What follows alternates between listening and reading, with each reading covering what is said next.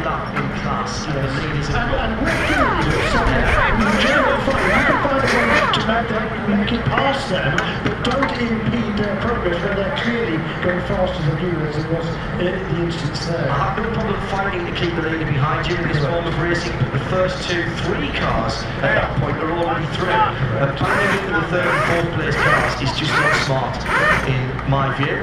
But I don't have to make those decisions, thank goodness, because uh, I wouldn't do race director's job for all the tea in Sri Lanka.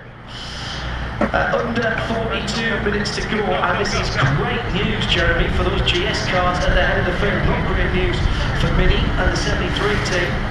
Uh, Stephen McAleer, by the way, had to come into the pit lane after that. It was the 25 car that got the D.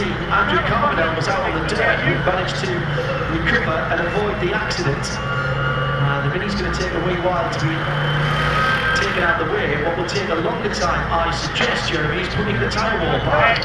Yeah, unfortunately, Good, good, good enough, good enough.